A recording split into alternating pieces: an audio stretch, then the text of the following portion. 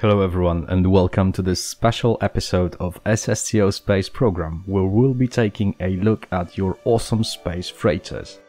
As a reminder, I asked you about 3 weeks ago to help me build a space freighter that would be able to bring 1000 tons of payload from Kerbin's orbit to Mun's orbit and back again without refueling. And I must say, I am absolutely overwhelmed by how impressive, and amazing your ships are. So I decided to make a video featuring all of them, and now it's up to you to pick one that we will be using in future episodes of the series.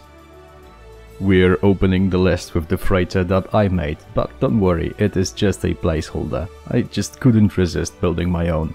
So thank you very much for submitting those amazing vessels, and without further ado, let me show you how great they are. Be sure to watch all of them and don't forget to vote for your favorite.